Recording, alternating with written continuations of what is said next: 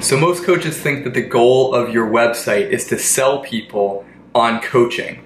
And that's not true. The goal of your website is to have people sell themselves to you. And the way that you do that is through your application. So you might be wondering, what do I include on my coaching application in order to have people come into those free consults primed to buy my coaching? And how do I weed out the people who are never gonna invest in my coaching anyway?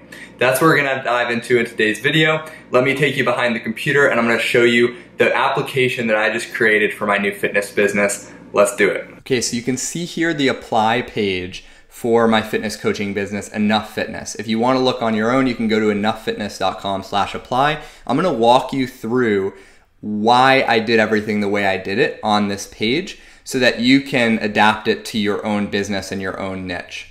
So on the headline, apply for your free strategy session below. It's very important that you don't have a long work with me page where you're trying to sell them on the coaching. If you do strategy sessions or free consults, just sell them on the free consult. Go one step at a time and then use the free consult to sell the coaching.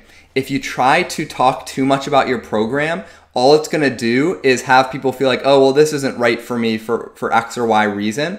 And the goal of your website isn't to sell your coaching, it's to get them on the phone with you. That's what sells high end coaching engagements. So You'll see here I have step one, step two, step three. It's very helpful if on your website and when you're marketing, you can give people a very clear outline of what to expect. It helps them feel comfortable and it helps them take action. So for me, I say step one is you fill out this application form. Step two is if you uh, if you qualify, you'll get an email from me. You can schedule a time through that. And step three is we have our strategy session. You'll get clear on these things. If it seems like I can help you, I'll talk about what that would look like. I also have a note here telling them what I'm looking for in the application. So I basically I give them the answers to the test, right? So I don't feel bad if they fill out the application and these things aren't in place, they don't seem motivated, coachable, and willing to invest. I don't respond or I respond and say, hey, it doesn't seem like we're a good fit because I'm telling them exactly what I'm looking for in the application right here. Um, so let's dive into the application itself. So the first question is just their name. You don't want to start the application with really long fill in the blanks. We need to build some momentum, make it easy for them to get started. So I have email, I have their phone number in case they don't respond to the follow up email I send, I can always call them.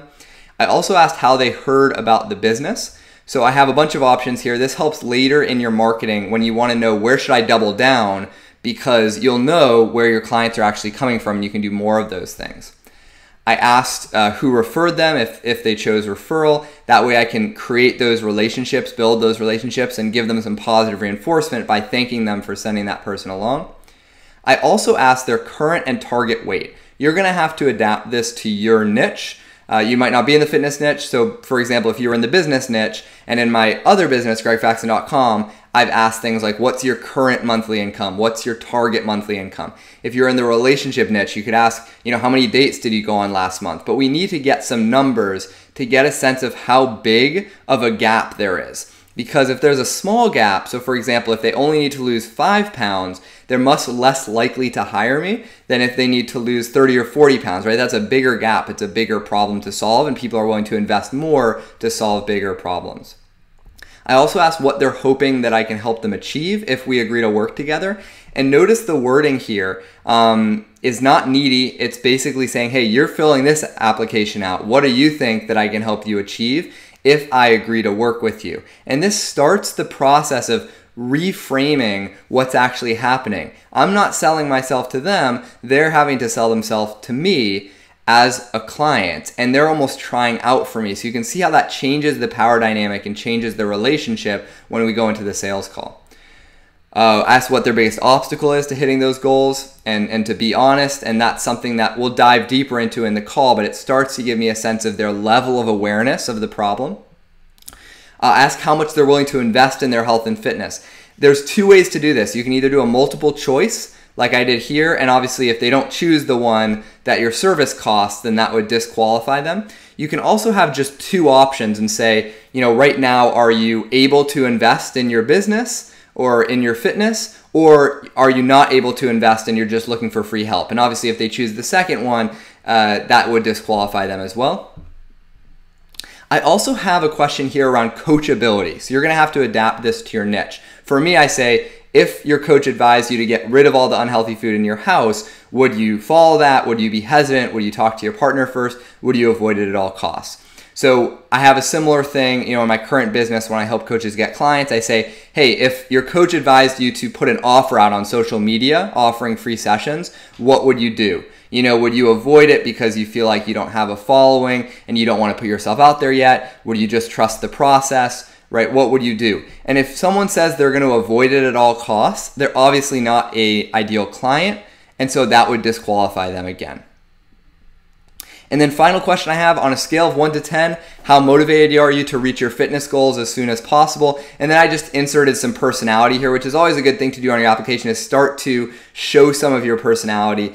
And uh, that's what has people buy coaching. It's not just the logistics and the results they're hoping they they'll get, it's that they feel connected to you. So I have, you know, zero on the scale is Netflix and chill, 10 is deadlift and grill.